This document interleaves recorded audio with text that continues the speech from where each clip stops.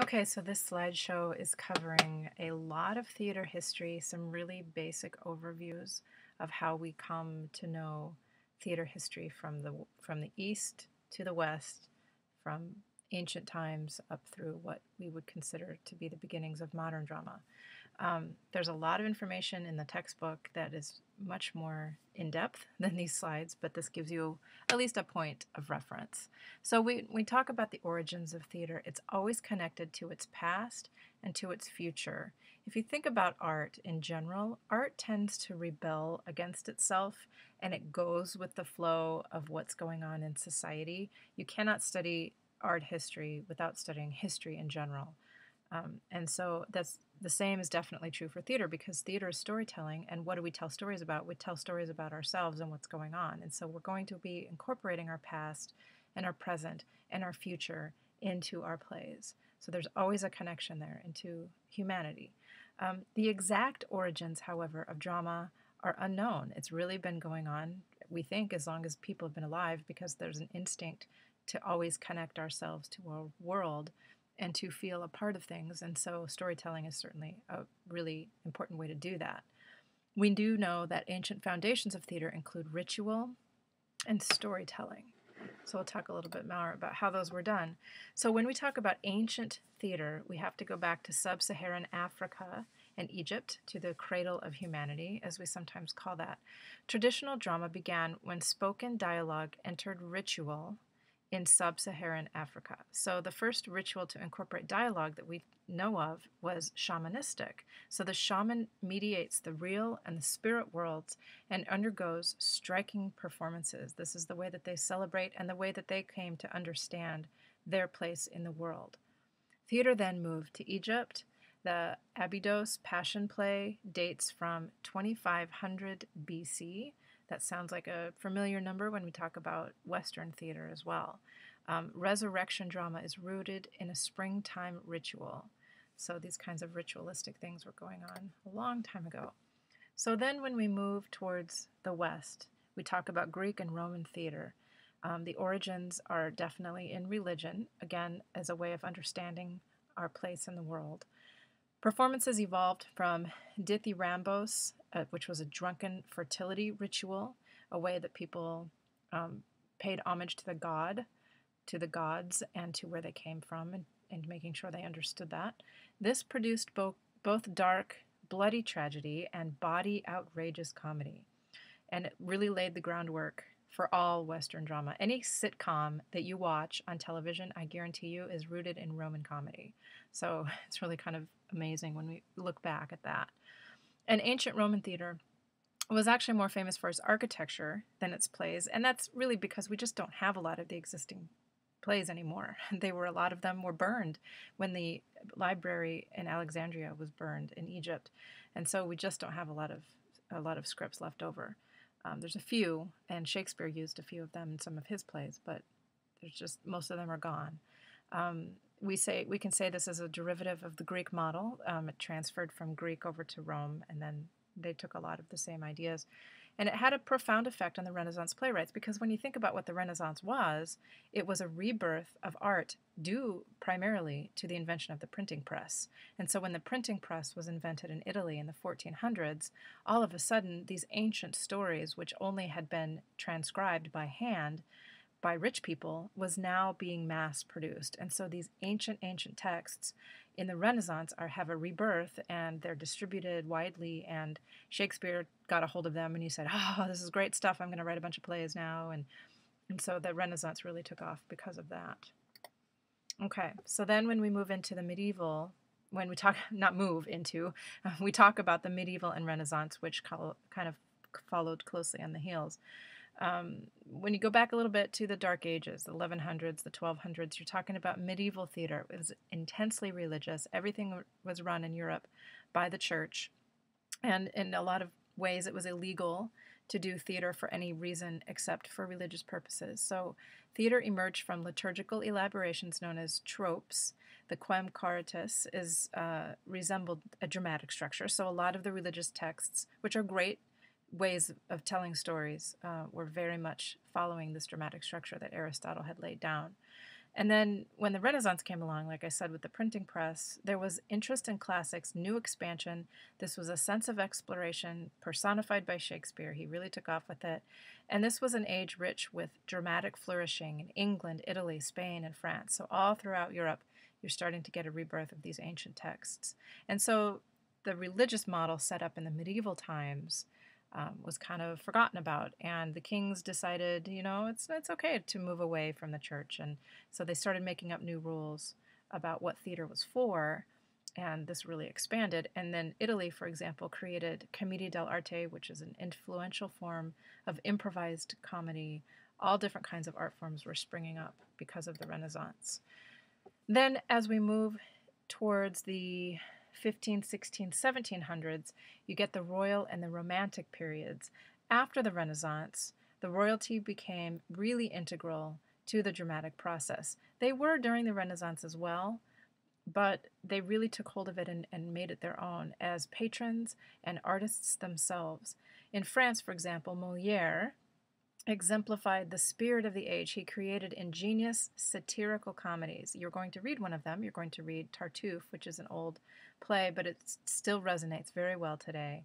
Um, it's about religious hypocrisy, which, of course, is very prevalent in our society all over the place. So we can really see how Moliere um, used satire to make fun of the royalty, and which sometimes they liked and sometimes they didn't, but that's something that he did.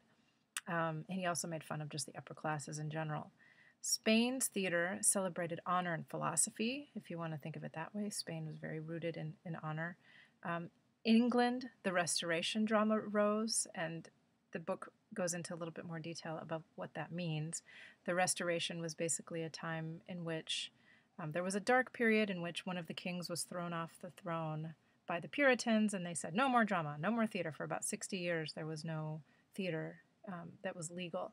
And then when Charles II was restored to the throne, which is why we call it the Restoration, um, drama exploded again and became very, very fun and frivolous and celebrated by the royalty again. So it kind of went back and forth um, as far as what the king's role was in drama. When the kings were on the throne, it was very well supported. If they were overthrown, then things got weird. Romantic theater followed the royal age by repudiating its ideas. And so, again, theater's rebelling against itself. It's saying, okay, royalty is involved and they're writing everything that they want to write, but you know, oop, sorry, I skipped ahead. Um, but instead, let's focus on emotion and individuality and let's be romantic about the human spirit instead of having it dictated to us by these upper class people being paid for by the state to write these plays. Um, let's make them a little bit more romantic and idealistic about individuals. So that's a really quick overview of that 500 year period. Um, now, at the same time in the East, we're going to look at some overlapping things that were happening. Um, Asian theater developed largely in isolation from the West. There wasn't a lot of crossover, as you know, because there wasn't a lot of travel available between the East and the West. And Christopher Columbus, for example, couldn't figure out how to get to India and all those things. So there was really two completely different hemispheres going on in terms of this art form. So we really do have to talk about them separately. So when we talk about Asia, um, we're talking about Indian drama as old as the Western traditions, so the same time period, just completely isolated. Sanskrit dance and drama is the oldest form that we know of. The the Natya Satra, I'm not pronouncing that right, um, lays out its principles. This is basically the equivalent of the Poetics. It was written about the same time that Aristotle wrote the Poetics, a little bit later, actually.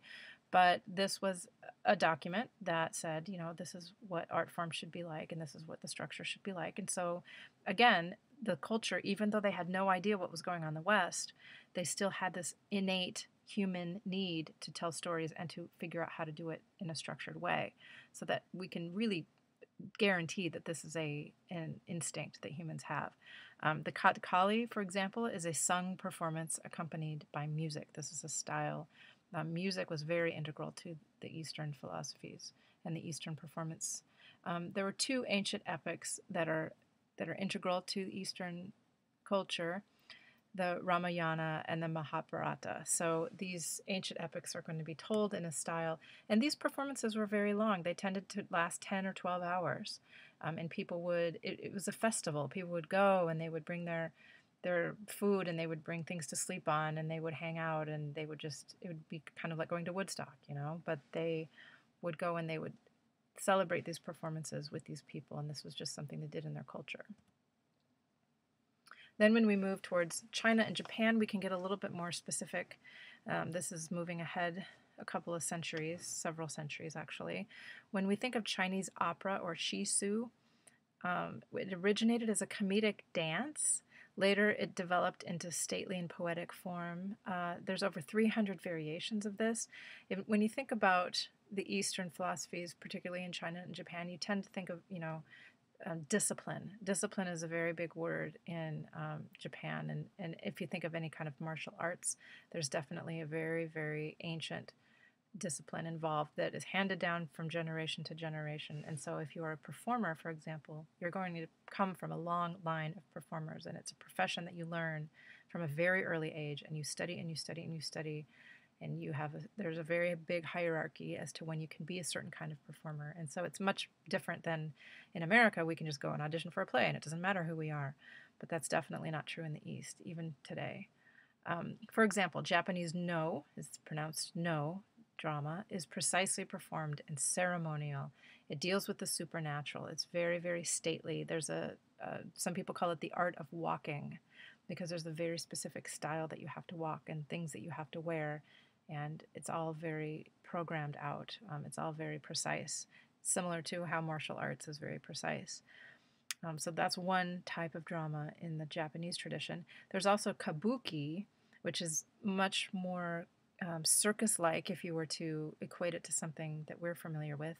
It's developed as mass entertainment. It's lots of spectacle, lots of really bright, wild costumes, lots of animals jumping around, and lots of acrobatics. As compared to the No, then, it's, it's much more flamboyant, whereas No is much more stately. So you can think of it that way. Um, and rather than do, dealing with the supernatural, its events are rooted in the material world. There's another form that's not on here that your book talks about, and that's bunraku.